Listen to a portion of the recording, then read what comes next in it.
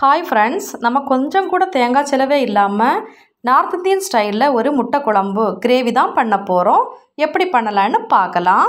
இது ரொம்ப ஜூஸியாக ஸ்பைஸியாக ரொம்ப டேஸ்ட்டாக இருக்கும்.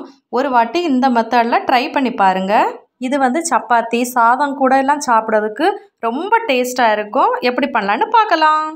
அதுக்கு தான் முதல்ல தேவையான பொருளை எடுத்து வச்சுருக்கேன். இதை ஒரு மிக்ஸி ஜாரில் நம்ம சேர்த்துக்கலாம். ஒரு தக்காளி ஒரு பச்சை மிளகாய் நான் வந்து முந்திரி பருப்பை வந்து ஊற வச்சு சேர்த்துக்க போகிறேன் கொஞ்சம் புதினா இலை அது கூட கொஞ்சம் ஆட் பண்ணிக்கலாம். ஒரு ஸ்பூன் தயிர் கூட ஆட் பண்ணிக்கோங்க.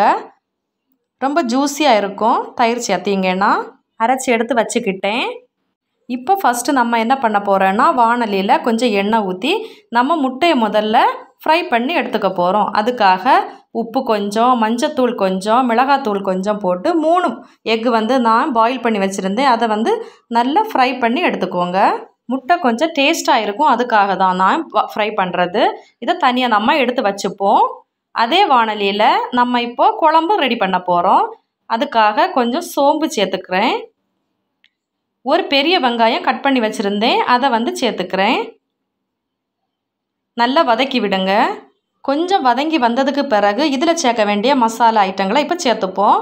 ஜீரகம் கொஞ்சம் மஞ்சள் தூள் கொஞ்சம் மிளகாய் தூள் கொஞ்சம் மல்லித்தூள் கொஞ்சம் சேர்த்து நல்லா வதக்கி விடுங்க. அதுக்கப்புறம் இஞ்சி பூண்டு பேஸ்ட்டு கொஞ்சமாக சேர்த்து ஆட் பண்ணிப்போம். இந்த ஸ்டேஜில் கொஞ்சம் உப்பு கூட சேர்த்துக்கோங்க. நான் லாஸ்ட்டாக தான் சேர்த்துட்டேன். அதுக்கப்புறம் நம்ம அரைச்சி வச்சுருந்தோம் இல்லையா? அதை இது கூட சேர்த்து நம்ம மிக்ஸ் பண்ணிப்போம். தேவையான அளவு நிறைய தண்ணி விட வேண்டிய அவசியம் இல்லை. கொஞ்சமாக தண்ணி விட்டால் போதும்.